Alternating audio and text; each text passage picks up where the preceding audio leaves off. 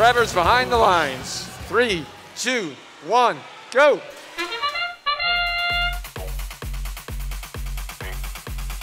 We are in the autonomous section of the match. Blue's trying to get hub, their cargo into that hub, and out of three shots, only one goes in. At the end of the at the end of auto, it looks like we have a small lead for the Red Alliance. They're leading 10 to 8. Balls are flying as as these robots on this far side are trying to get all their cargo.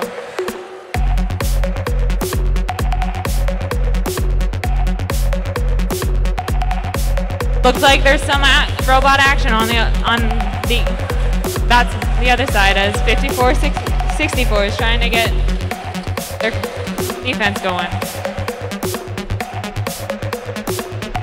Red River Rage gets one up in the upper hub for the Blue Alliance. 32.75, the regulator gets one up in the upper hub for Blue Alliance. 61.46 looks like they're trying to get some cargo into that lower hub for the Red Alliance, and they both fall out. 54.64 seems to be doing some good defense against 58.26.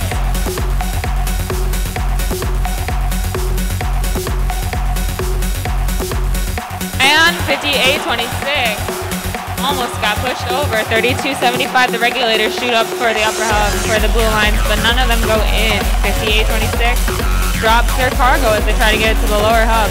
70.48 is going up for a climb, it looks like for the Blue Alliance. 54.64 is joining them.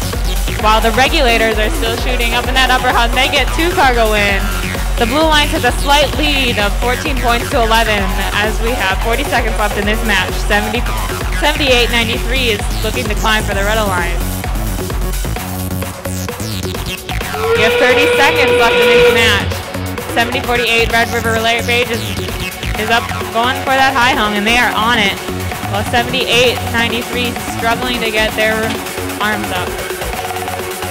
54-64 seems to have some trouble too but 58-26 for the Red Alliance is um, up. And 70-48 has their traversal. Eight seconds left of this match. We got three, two, one. That's the end of play. Let's see those results.